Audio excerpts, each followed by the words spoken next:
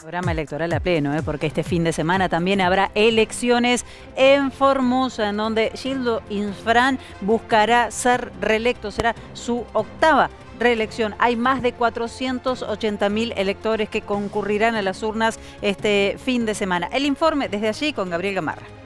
Los formoseños se preparan para el acto eleccionario del próximo domingo. En la provincia se va a elegir gobernador, vicegobernador, legisladores, intendentes y concejales.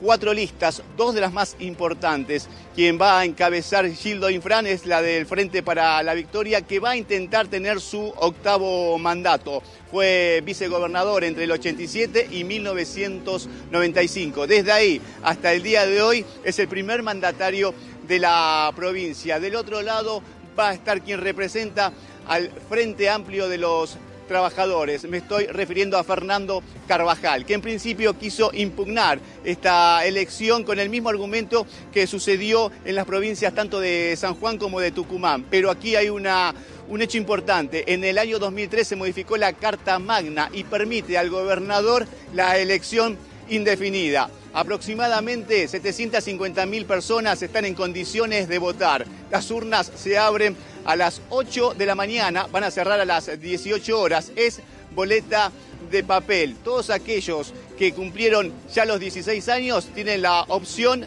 de votar. Aquellos que son mayores de 18 y hasta los 70 años tienen la obligación de realizar su sufragio.